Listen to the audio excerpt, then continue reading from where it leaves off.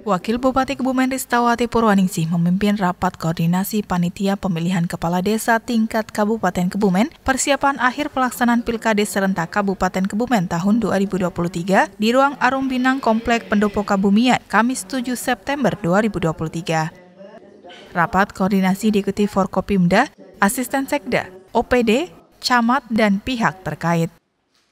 Wakil Bupati menjelaskan pilkades serentak yang akan dilaksanakan pada tanggal 12 September 2023 diikuti 49 desa dari 22 kecamatan. Nantinya calon kepala desa yang terpilih akan dilantik pada tanggal 21 November 2023.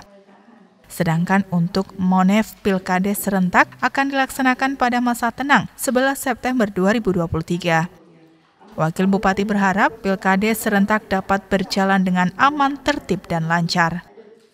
Kabak Ops Polres Kebumen Kompol Setioko menjelaskan untuk pengamanan Pilkades serentak diterjunkan 338 personil.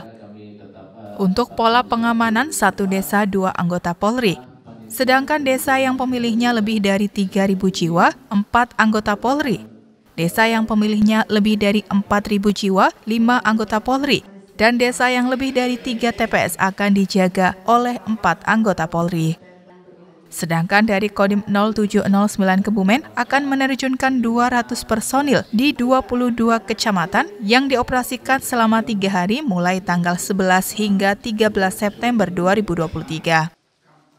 Dari Kebumen, Tim Liputan Kebumen TV memberitakan.